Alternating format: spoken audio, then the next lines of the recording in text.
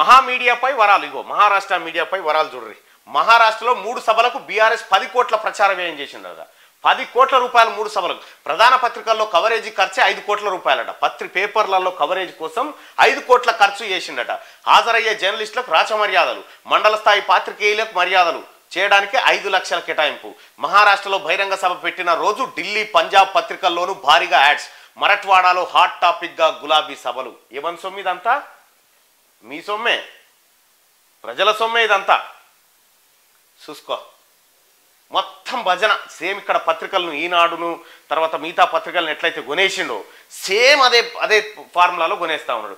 తెలంగాణ ప్రజలారా ఇవ్వనయ్య జాగిరి ఇవ్వనయ్య జాగిరి పైసలన్నీ మనయే. మన సొమ్మే ఇదంతా. మన సొమ్ము తిని మన ఇంట్లో తిని మన మన ఇంట్లో ఎరిగిపోయే రకం ఈ కుటుంబం. ఇక చూడ్రి. మహా మీడియాపై వరాలు. ఇక్కడ ఉన్నటువంటి మీడియాకేమో అడ్వర్టైజ్మెంట్ ఇయ్యడు. అక్కడ ఉన్నటువంటి ఈ దొంగలకేమో ఇగో ఇన్ని రకాలుగా సాయం చేస్తూ ఉంటాడు. కూర్చోబెట్ట కూర్చో.